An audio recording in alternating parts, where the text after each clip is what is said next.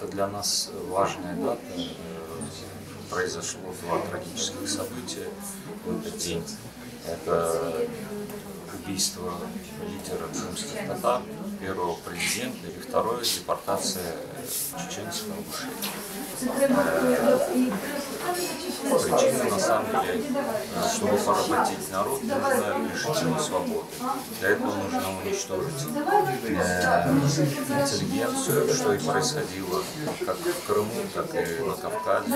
Э, но, несмотря на это, народ все равно возрождается, и Индия – это имперская страна, э, прибегает э, к физическому истреблению.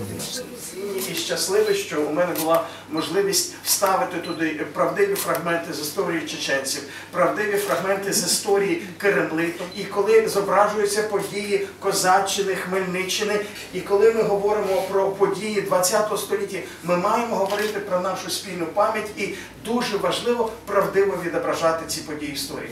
и, и начинает опять ночью ходить, забирать. То есть ничего не изменилось. Почерк остался, как говорится, летопись идет дальше. Поэтому я могу только народу Чечни и э, Крыма, чтобы их оберегал Всевышний просить, чтобы они мужественно переносили и это тяготе, которая будет. Но я думаю, что победа будет за народом Крыма и Чечни, и они в крайнем случае выйдут из этого положения достойно.